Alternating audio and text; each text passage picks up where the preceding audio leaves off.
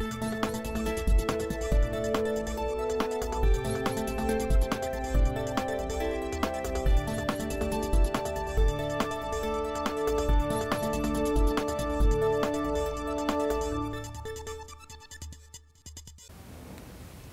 Piątek, 8 stycznia, Krystyna Witkowska. Witam Państwa. Zapraszam na informacje piotrkowskie. Dziś w wydaniu o pomocy dla miasta partnerskiego Petrini, zmianach w rejestracji pojazdów oraz o sesji malarskiej na żywo.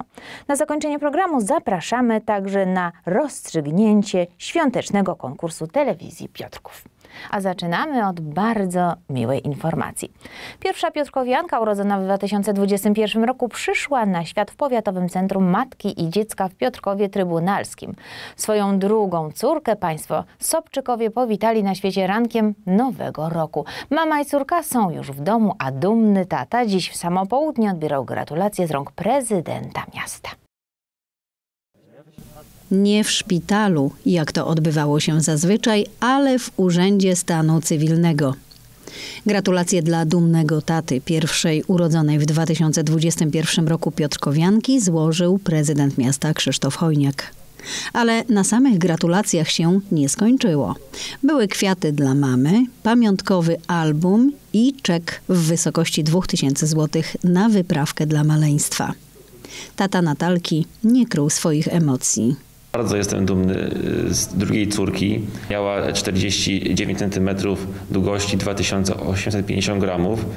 No nie była za duża, ale wielkie szczęście.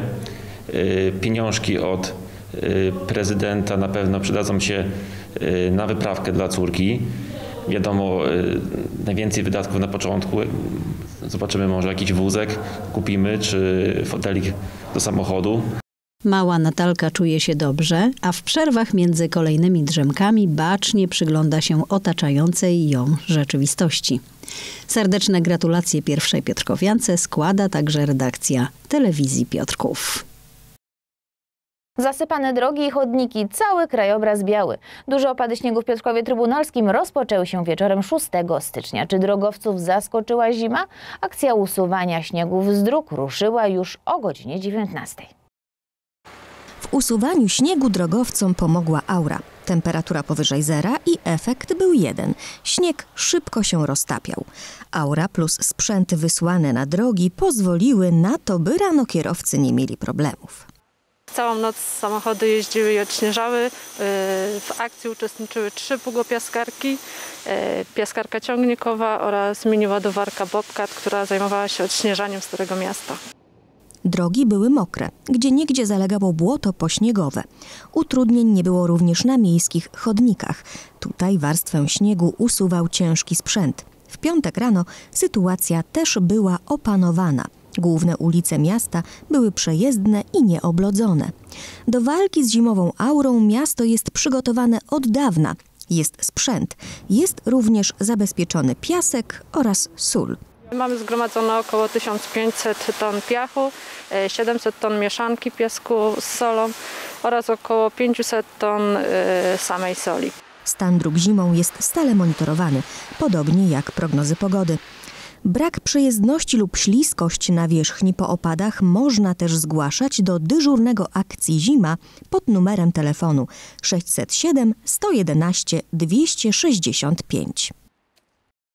Na rejestrację sprowadzonego z zagranicy pojazdu oraz złożenie zawiadomienia o zbyciu lub nabyciu pojazdu od marca do 31 grudnia ubiegłego roku kierowcy mieli 180 dni. Z pierwszym dniem nowego roku nastąpiła zmiana i powrót do starych zasad. Rejestracja auta sprowadzonego z krajów Unii Europejskiej to formalność, jednak należy skrupulatnie przestrzegać wyznaczonych terminów. W marcu ubiegłego roku ze względu na pandemię koronawirusa czas na rejestrację, a także powiadomienie o nabyciu czy sprzedaży pojazdu wydłużony został do 180 dni. Z nowym rokiem nastąpił powrót do starych przepisów, co oznacza, że Wszyscy, którzy zakupią pojazd po 1 stycznia tego roku, bądź sprzedadzą taki pojazd, ewentualnie y, sprowadzą pojazd z państwa unijnego, będą mieli już 30-dniowy obowiązek zawiadomienia o fakcie nabycia, zbycia lub zarejestrowania pojazdu y, sprowadzonego z państwa unijnego. Należy jednak pamiętać, że rejestracji pojazdu dokonać można tylko osobiście, zgłaszając się do referatu komunikacji. Właściciele pojazdów z Piotrkowa Trybunalskiego muszą zrobić to w Urzędzie Miasta przy ulicy Szkolnej 28. Wizytę należy wcześniej umówić telefonicznie pod numerem telefonu 44 732 18 17 Natomiast zawiadomienie o zbyciu czy nabyciu pojazdu można złożyć bez konieczności wizyty w urzędzie. Można y, dokonać y, tych czynności poprzez ePUAP, platformę ePUAP, ewentualnie przez y, elektroniczną skrzynkę podawczą systemu pojazd i kierowca. Jeśli ktoś jednak woli wersję papierową, taki wniosek można złożyć osobiście. Tu także należy pamiętać o wcześniejszym umówieniu wizyty. I co ważne, niedopełnienie terminu 30 dni podlega karze pieniężnej od 200 do 1000 złotych. Pod koniec roku na terenie Chorwacji doszło do trzęsienia ziemi. W wyniku tąpnięcia najbardziej ucierpiało miasto Petrinia, miasto partnerskie Piotrkowa Trybunalskiego. Mieszkańcom miejscowości położonej kilkadziesiąt kilometrów od Zagrzebia potrzebna jest pomoc, a tą organizują wolontariusze Harc. Petrinia została niemal całkowicie zniszczona na skutek trzęsień ziemi. Zawaliły się szpitale, szkoły, urząd miasta, przedszkola oraz domy prywatne. Sytuacja jest dramatyczna. Od końca grudnia y, do właściwie chwili obecnej są wstrząsy, mniejsze bądź większe. E, największy wstrząs to było ponad 6 e, stopni e, w, w skali. Natomiast każdy wstrząs powyżej 5 powoduje to, że budynki, które już uległy jakiemuś naruszeniu, no, ulegają dalszej jakiejś dewastacji. Tak? Generalnie całe, całe centrum y, jest do rozbiórki. Nawet te budynki, które jeszcze się ostały, które, których nie ruszyło trzęsienie ziemi, nie nadają się do, y, do zamieszkania. Wolontariusze ze Stowarzyszenia Harc, widząc nagrania ze zburzonego trzęsieniami miasta, długo się nie zastanawiali i ruszyli z pomocą. Organizowana jest zbiórka potrzebnych rzeczy dla mieszkańców miasta dotkniętego kataklizmem. To był moment tak naprawdę. Yy, Petrinia, nasze miasto partnerskie, łączymy się z nimi w bólu i jednocześnie po prostu działamy. Tak? Nie potrafimy siedzieć jako wolontariusze i, i nic nie robić, oglądać zdjęcia czy filmiki, co się tam dzieje. My musimy działać po prostu. Dla nas to jest coś naturalnego. Mieszkańcy Piotrkowa Trybunalskiego już odpowiadają na apel o pomoc. W siedzibie Harc pojawiają się kolejne dary. Jest odzew, y, właściwie był odzew od razu, więc y, bardzo nas to cieszy. Zbieramy do 15, więc y, większość osób przychodzi na ostatni dzień, więc zapraszamy wcześniej. Pomoc dociera, ale potrzeba jej jeszcze więcej.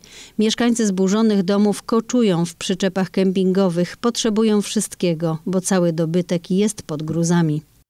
Ja y, poznałam dosyć dobrze, y, może nie tylko mieszkańców Petrini, ale w ogóle y, Chorwatów. Są to ludzie bardzo serdeczni, bardzo gościnni, o czym pewnie się większość z nas może przekonać jeżdżąc tam na wakacje. I myślę, że gdyby, nie daj Boże, tutaj nam się przytrafiło coś takiego, to Petrynia byłaby jedną z pierwszych, nie wiem, instytucji, organizacji miast, które zaoferowałyby nam pomoc. Zebrane dary będą dowiezione do Petrini. Transport sfinansuje Urząd Miasta. Zbiórka potrwa do końca przyszłego tygodnia.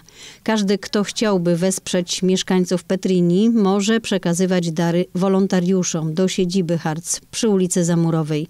Szczegółowe informacje na Facebooku oraz pod numerami telefonu 794 522 583 lub 797 167 407.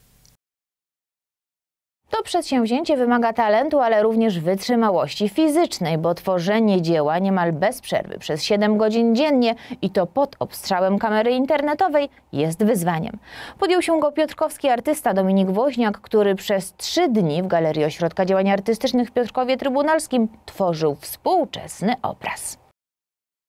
To niemal zaproszenie do artystycznej kuchni, bo powstanie obrazu zwykle było strefą tabu. Artyści w zaciszu swoich pracowni tworzyli obrazy, by pokazać je widzom w wersji finalnej. Sesja artystyczna na żywo w Ośrodku Działań Artystycznych w Piotrkowie Trybunalskim to niemal pokazanie procesu twórczego od pierwszej kreski. Takie malowanie to wyzwanie artystyczne, a podstawą jest projekt, mówi artysta, szczególnie do obrazu wielkoformatowego. Do tej kompozycji zostało wykonanych kilkanaście rysunków formatu A4. Przede wszystkim trzeba mieć e, pomysł na pracę. Akurat e, ta konkre- konkretna praca e, tego formatu, już jakby wcześniej był projekt do, do niej jak gdyby realizowany, więc e, tutaj e, no, to jest po prostu mm, ciągły, nieustanny proces, e, który się rozwija. Więc e, na pewno przy takim formacie e, trzeba być e, fizycznie tutaj e, bardziej jak gdyby muszę powiedzieć, nie tyle wysportowanym, ale mieć siłę, żeby to jak gdyby ogarnąć wszystko. Więc to jest dosyć tutaj duże wyzwanie. Sesja malarska Dominika Woźniaka udostępniana była na żywo na profilu społecznościowym Ośrodka Działań Artystycznych. Dzięki temu każdy miłośnik sztuki mógł towarzyszyć artyście i zobaczyć, jak powstaje dzieło sztuki. Czasami pewne rzeczy lepiej jest pokazać niż e, tłumaczyć. Wielokrotnie padają do różnych artystów pytania właśnie jak prace powstają, jaka inspiracja, e, ile czasu to zajmuje, e, czy- czy się pracuje z przerwami, czy bez. No w tym momencie po prostu jest to na żywo i te wszystkie pytania e, od razu są rozwiązane. Malowanie na ekranie pod okiem kamery nie powoduje dyskomfortu artysty, twierdzi Dominik Woźniak.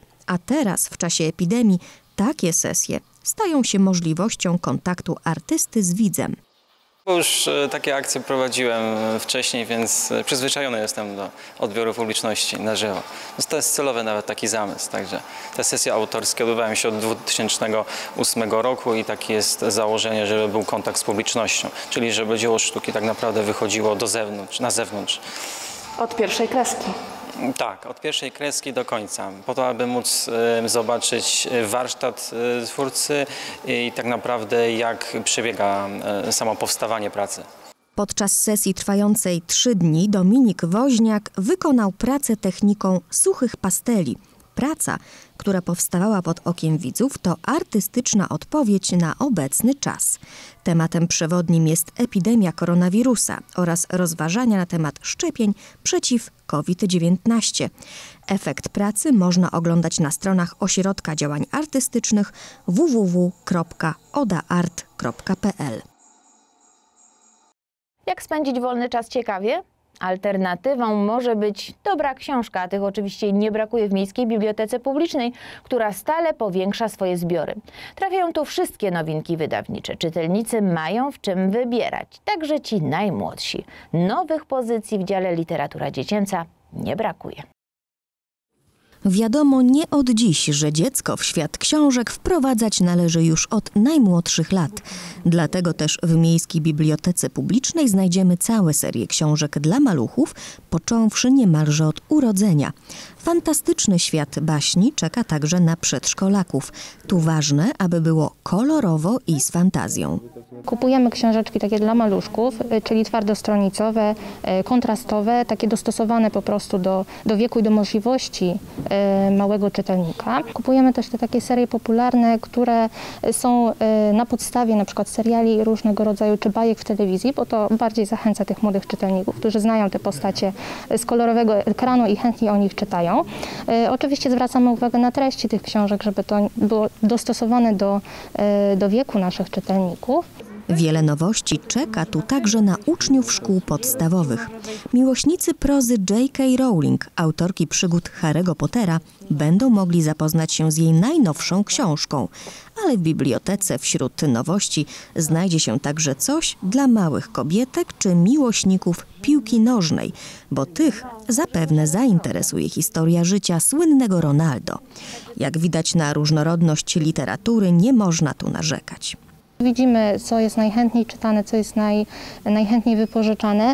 No i też takie książki e, staramy się kupować. Oczywiście poza takimi książkami, e, które cieszą się największym zainteresowaniem, które dzieci czytają powiedzmy dla przyjemności bardziej, e, nie zapominamy też o lekturach szkolnych, dlatego że tego cały czas jest u nas za mało. Mimo tego, że mamy bardzo wiele egzemplarzy, to cały czas rośnie to zapotrzebowanie, zwłaszcza na pozycje, które dosyć niedawno dopiero weszły do tego kanonu lektur. Powieści, komiksy czy baśnie. Jest w czym wybierać i jedno jest pewne. Czas spędzony z książką na pewno nie będzie czasem straconym. Warto więc odwiedzać Miejską Bibliotekę Publiczną i sprawdzić, co nowego pojawiło się na bibliotecznych regałach. A teraz zapowiadane na początku dzisiejszego programu losowanie. Już za chwilę poznamy laureatów świątecznego konkursu telewizji Piotrków. Zadaniem Państwa w tym konkursie było podanie prawidłowych tytułów filmów, które nakręcone zostały w 12 miejscach w Piotrkowie Trybunalskim. Zadanie tym trudniejsze, że tych filmów było więcej niż 12. Już za chwilę poznamy dwójkę laureatów, którzy otrzymają album Piotrków Trybunalski Miasto Królewskie autorstwa Marii i Mariusza Laux. W dzisiejszym losowaniu pomogą mi moi mali pomocnicy. Laura Julek. Kochani, gotowi do losowania? Tak, gotowi. Gotowi. Lauro, bardzo proszę, wylosuj pierwszą kopertę. Mamy. Sprawdzimy, do kogo powędruje pierwszy album. Kartka z prawidłowymi odpowiedziami. I pierwszy album powędruje do pani Marianny Czaplikowskiej. A teraz bardzo proszę, Julku, ty wylosuj drugą kopertę. Kto będzie tym szczęściarzem?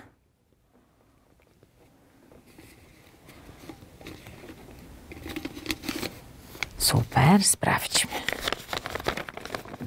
O, jaka zaklejona.